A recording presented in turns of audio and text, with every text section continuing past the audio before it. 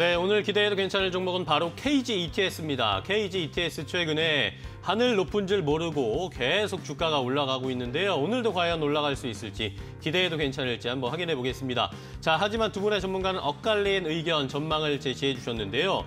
자, 한 분은 네, KG ETS 더 갈 수 있다. 매년 실적이 상승하고 있다, 실적이 늘어나고 있다라는 것은 KG ETS의 상승의 주 원인이고 앞으로에도 상승 동력이 될 것이다라는 의견이었고요.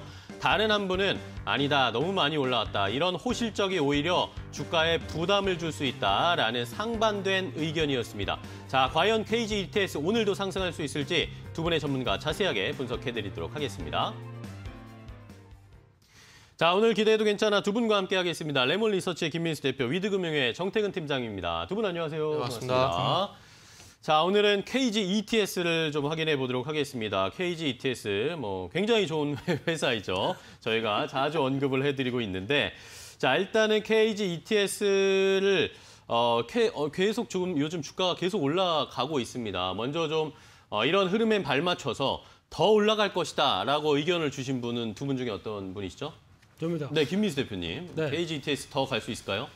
이게 또 5월 초에 가격이 7천 원도 안 됐었습니다. 네. 근데 주가가 2만 어제는 거의 상한가까지 가, 어, 가 면서 그러니까요. 한세 배 이상 그렇습니다. 올랐었죠. 네. 그런데 어, 이렇게 주가만 보게 되면 이렇게 급등했기 때문에 부담스럽다라고 볼 수 있어도 자세한 내용을 살펴보게 되면은 어, 그렇게 비싸지가 않습니다. 그런가요? 그렇기 때문에 말씀하셨던 좋은 KG그룹의 회사다 보니까 네. 어, 주가는 이를 더 반영해야 된다는 관점 쪽에서 바라보고 있는데 특히 이제 어, 환경 그리고 바이오 신소재 관련된 쪽 어, 바이오도 한다라고 어, 보셔서 이게 무슨 바이오 쪽이냐라고 보실 수 있어도 바이오 중유라고 하는 소재 어, 어떤 에너지 관련된 어. 쪽으로 바뀌어 있는 상황들이죠. 그러다 보니까 환경과 에너지 쪽에 강점이 있는데 또 자회사가 있습니다. KG 동부제철 어, 동부제철 인수한 쪽과 어, 항만 관련된 GNS. 근데 동부제철 어, 관련된 지분법만 본다고 하더라도 주가가 이 정도까지 올라오는데 가장 큰 역할을 했다고 봐야 될 것 같고요. 네.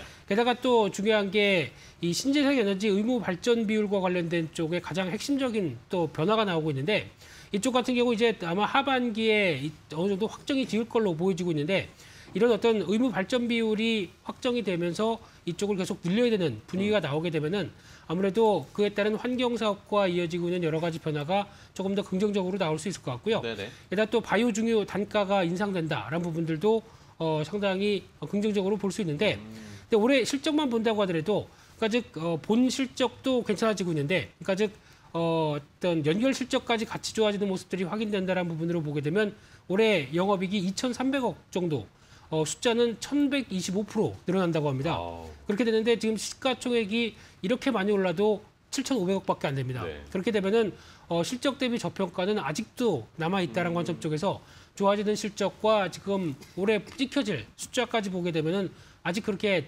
어, 좀 쉬었다가 더 갈 수 있는 모습들이 나오지 않나라고 생각됩니다. 네, 좋습니다. 자, KG ETS 뭐 시총 1조는 가야 된다. 뭐 그런 이야기들도 있습니다. 이러면서 매년 실적이 상승하고 있기 때문에 여전히 뭐 비싸지 않다라는 의견을 주셨는데 자, 이번엔 정태근 팀장님의 의견을 들어볼 텐데 저희 방송에 나오시면서 KG ETS가 멈출 것이다라는 의견을 주시는 거는 아, 괜찮으시겠습니까? 감당하실 수 있을지 모르겠는데 일단은 뭐 의견 들어볼까요? 제가 이제 원고를 준비해서 다른 방송 착각했나요? 네. 순간 제가 착각을 한 것 같습니다. 어, 뭐, 참 말, 말하기 좀 부담스럽네요. 아니, 어쨌든, 아니, 좋습니다. 농담입니다. 네. 저도 농담이고요. 일단 실적이 정말 잘 나왔죠. 1분기만 보게 되면 매출 6,900억, 영업이 578억.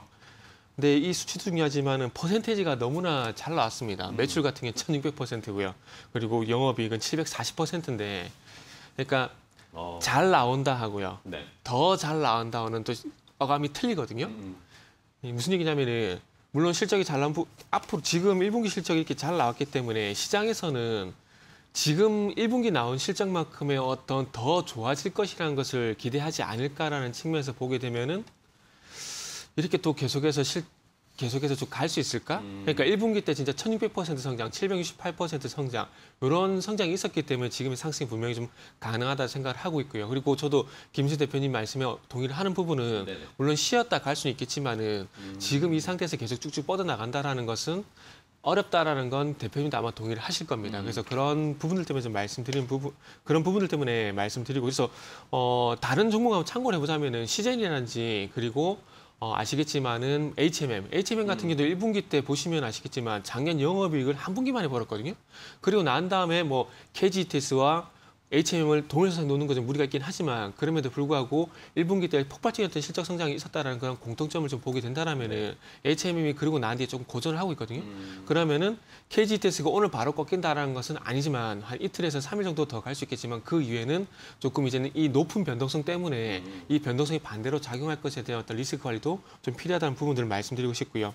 그리고 지금 최근에 뭐 산업 폐기물, 뭐 의료 폐기물 이 부분에서 실적이 좀 많이 증가를 하다 보니까 이 KGTS 같은 경우도 영업이익이 대부분 한 80%가 이 폐기물하고 환경 쪽에서 발생이 되더라고요. 네네. 근데 여기 이 부분 같은 경우도 이제 의료 폐기물의 어떤 수요 부분이 상당히 컸었는데 이 부분뿐만 아니라 도금용 산화동 이게 PCB 기판 원료로 사용이 되고 있는 어, 부품, 그 제품이 될까요? 원료라 해야 될까요? 이런 부분인데 이 부분을 보기에는 스마트폰 부분을 좀안 볼 수는 없거든요. 근데 스마트폰 같은 경우에 지금 예사가 중국과 합작 범위를 만들어 중국 쪽에서 이 도금용 사, 그 도금 도금용 산화동을 월 천톤 가량 만들 수 있는 공장을 만들었는데 그래서 미국 중국 쪽 어떤 스마트폰 시장 동을 볼 수밖에 없습니다. 근데 지금 화면도 보신 바와 같이 지금 스마트폰 출하량이 5월 달에 31% 감소를 했는데 이게 4월 달부터 이런 현상이 발생이 되고 네네. 있어요. 근데 4월 달까지는 아직까지는 그래도 공급 부족의 문제가 있다라고 판단했는데 5월 달 넘어서부터는 현재 수요에 대한